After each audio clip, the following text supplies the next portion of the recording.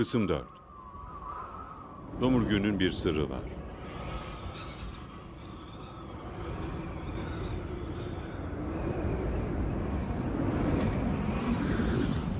Karakterleri son görüşümüzün üzerinden 15 dakika geçti. Joe Gage, Smithers'ın cesedini çıkarmaya gönüllü oldu. İkinci kişi için çöp çekildi. O bir kaybetti. Chris, John Root ve Osvaldo az önce gerçekleşen nefsi müdafaa cinayetini tartışmaya koyuldu. Az önce yaptığı şeyin yasallığıyla ilgili şüphesi olmayan binbaşı Warren ise kimseyi duymadı. Kendine bir masa hazırladı ve viski içti. Yüzbaşı Menix, generalin paltosuna konup mum ışığı altındaki Osvaldo'ya katıldı. Hey Ozzy! Aslında sen haklısın.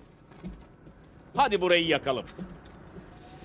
John Root ise Obi ve Joe Gage'in dönüşünü beklerken kapıda nöbet tuttu.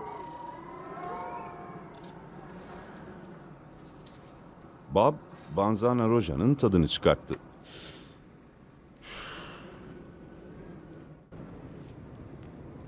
Ne var ki Domurgü, John Root onu serbest bıraktığından beri yemek masasındaki yerinden hiç kıpırdamamıştı. John Root. Evet. Şuradaki gitarı tıngırdatayım mı? Biraz geri gidelim. Oğlum, bir zenci ve malum pozisyon. Oğlun tir 15 tir dakika önce binbaşı Warren herkesin önünde General Smithers'ı seviniyorum. öldürmüştü. Ama bundan 40 saniye kadar Ve önce aynı derecede önemli şey bir şey olsa da herkes bunu görememişti. Binbaşı Warren siyah cansınlar ve beyaz ağızlarla dinleyiciyi büyülerken Oysa ki birileri çocuk kahveye zehir kattı. her istediğimi yerine getirmişti.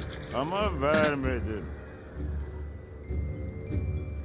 Bunu yaparken onu gören tek kişi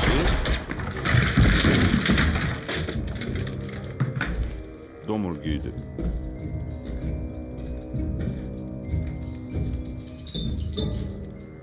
İşte bu yüzden bu kısmın adı Domurgü'nün bir sırrı var.